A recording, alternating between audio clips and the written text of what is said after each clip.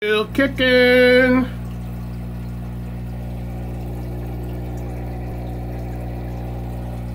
Stupid reflection.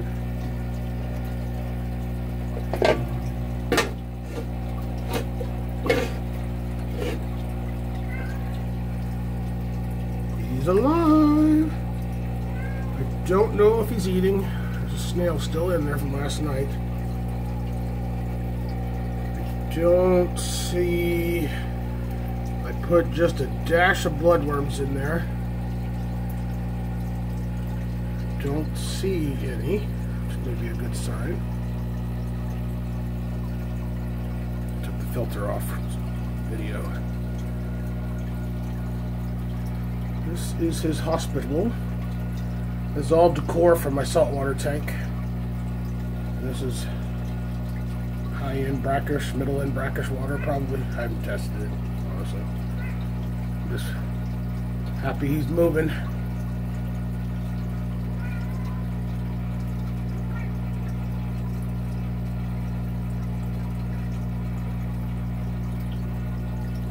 And if I had to guess, the water's probably got a specific gravity of about 1.010. I'll get my refractometer out and test it, but I'm pretty confident somewhere around there. I think the salt, uh, he was living in fresh water, and I think the salt actually helped him rebound. He looks fine right now. I don't like that snail still sitting there, but he looks fine.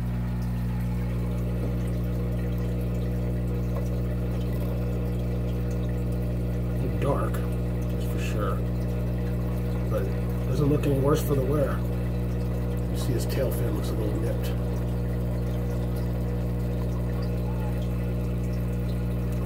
This thing was in my hand two days ago, dead. Can't believe it. Still alive.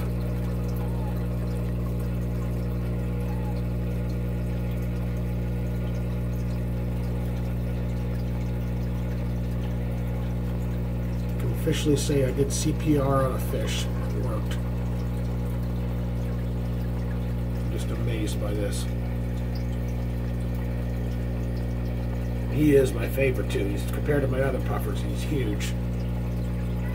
And he's relaxed. I think that's why he got beat up. He's too relaxed.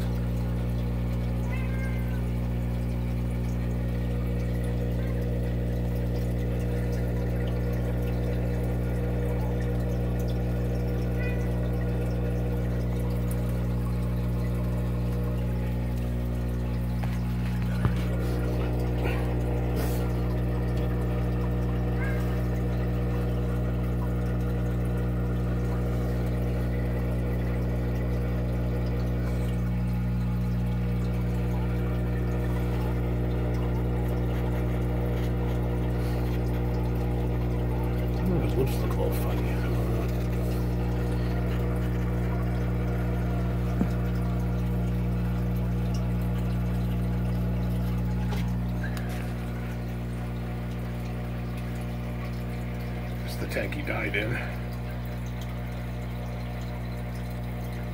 Still don't know what happened there.